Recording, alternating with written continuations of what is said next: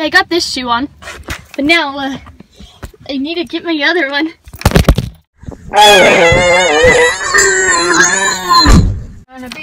got it!